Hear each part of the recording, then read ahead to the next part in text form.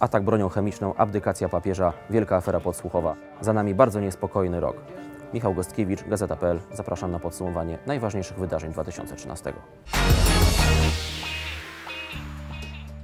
Rok 2013 zaczął się spokojnie i pompatycznie, inauguracją drugiej kadencji Baracka Obamy. Ale prezydentowi USA szybko popsuł się humor.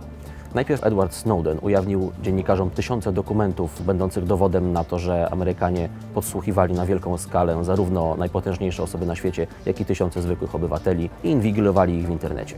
Potem przyszedł spór z republikanami o budżet i w efekcie 16-dniowy shutdown rządu USA. Po prostu rząd nie miał budżetu, przestał działać.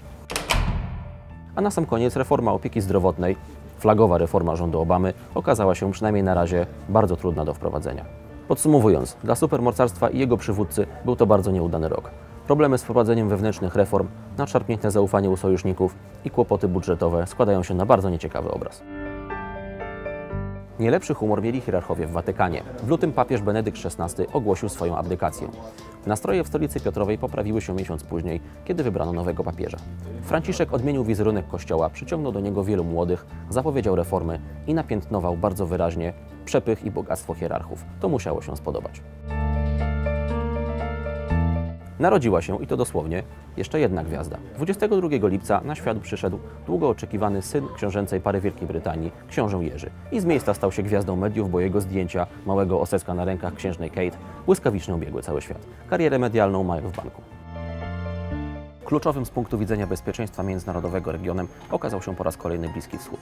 W Syrii kolejny rok trwała krwawa wojna domowa, a po wyjściu na jaw informacji o zastosowaniu przez jedną ze stron konfliktu broni chemicznej o mały włos nie doszło do międzynarodowej interwencji, która lokalny konflikt zamieniłaby w wojnę na wielką skalę. Niespokojnie było też w Egipcie, gdzie po zamachu stanu władzę stracił wybrany zaledwie rok wcześniej prezydent Mohamed Mursi. Kiedy protestujący w obronie parku Gezi demonstranci zebrani w Stambule podważyli władzę premiera Recepa Erdoana, ten wysłał na nich policję. Miasteczko namiotowe zostało zlikwidowane, a premier Turcji nadal cieszy się władzą. Niespokojnego obrazu świata w 2013 roku dopełniły dwa krwawe zamachy terrorystyczne. Podczas maratonu bostońskiego dwóch młodych Czeczenów odpaliło bomby, które zabiły kilkanaście osób i ciężko raniły około 100.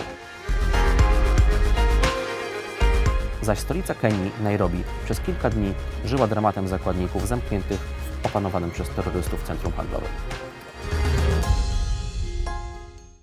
2013 roku odeszło też kilka wielkich postaci światowej polityki. Zmarł m.in. prezydent Wenezueli Hugo Chavez po wieloletniej walce z rakiem.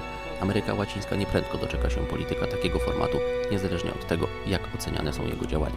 Wielka Brytania pożegnała byłą premier Margaret Thatcher.